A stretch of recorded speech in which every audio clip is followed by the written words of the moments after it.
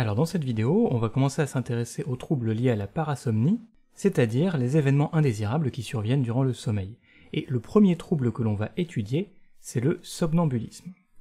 Alors, le somnambulisme, on en a tous entendu un petit peu parler, et ça peut consister simplement à marcher euh, durant la nuit, mais ça peut aller également beaucoup plus loin, par exemple, il y a des personnes somnambules qui vont jusqu'à conduire leur voiture alors même qu'elles dorment. Donc vraiment, ça peut aller de la marche jusqu'à la conduite, et on va voir, par la suite, il y a des événements qui peuvent être encore plus problématiques.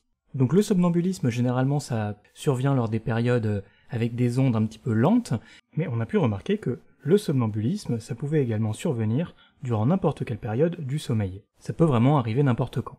Et historiquement, c'est un phénomène qui est assez étudié parce que c'est assez étonnant tout de même euh, de marcher, euh, voire davantage, durant la nuit.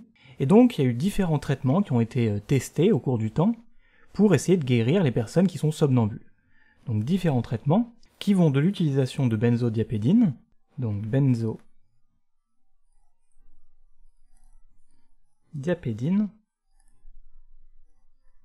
qui sont généralement des médicaments utilisés principalement pour l'anxiété et l'insomnie. Et la deuxième classe de médicaments qui ont également été beaucoup utilisés, ce sont les antidépresseurs.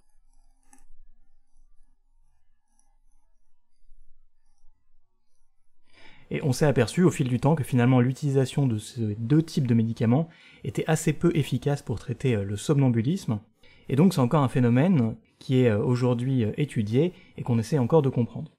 Alors cependant, ce qui est aujourd'hui compris, c'est que le somnambulisme qui est lié à des troubles de la respiration durant le sommeil, ça on arrive à le traiter maintenant justement en traitant en amont les troubles de la respiration, et on s'aperçoit justement que les personnes qui ont à la fois ces troubles et le somnambulisme, eh bien se trouve traité du somnambulisme lorsque l'on arrive à guérir les troubles de la respiration. Et pour montrer vraiment à quel point le somnambulisme ça peut être problématique, on va étudier le cas de Scott Falater. Donc Scott Falater, qui en 1997 a eu un épisode de somnambulisme qui a été un petit peu particulier. Puisque le 16 janvier au soir, Scott Falater dînait avec sa famille, avec ses enfants, avec sa femme, euh, tout était parfaitement normal, simplement il évoquait en quelque sorte les difficultés qu'il avait eues au travail la journée, durant la journée, mais simplement rien d'inquiétant, tout, tout se passait parfaitement bien. Ensuite, après le dîner, Scott Falater fait euh, différentes choses, il y a l'entretien de sa maison, il prépare également son week-end, et puis il va se coucher tout à fait euh, tranquillement. Cependant, le lendemain, il est réveillé par le bruit de chiens et le bruit de la police qui vient frapper à sa porte. Et immédiatement après avoir ouvert sa porte, il se trouve arrêté pour le meurtre de sa femme. Donc là, il est complètement dans l'incompréhension, puisqu'on lui indique que sa femme a été retrouvée dans sa piscine avec 44 coups de couteau.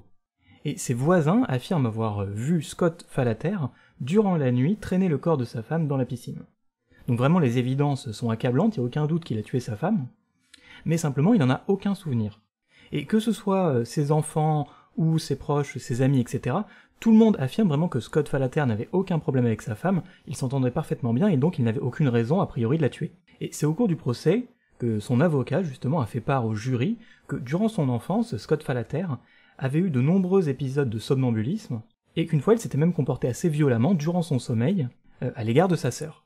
Alors que pourtant, physiologiquement, Scott Falater avait un cerveau qui était en parfait euh, état, il n'avait aucun souci, et même plus généralement, psychologiquement, il n'y avait aucun trouble qui avait été euh, révélé jusque-là et pourtant il semble donc qu'il a tué sa femme durant un épisode de somnambulisme euh, au cours de son sommeil.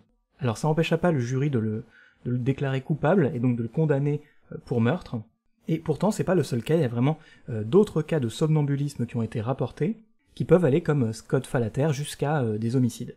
Et aussi étonnant que ça puisse paraître, vraiment les chercheurs qui s'intéressent au sommeil, eh bien disent que c'est tout à fait possible effectivement d'avoir un épisode de somnambulisme qui puisse aller euh, jusqu'au meurtre sans vraiment qu'on en ait euh, aucun souvenir.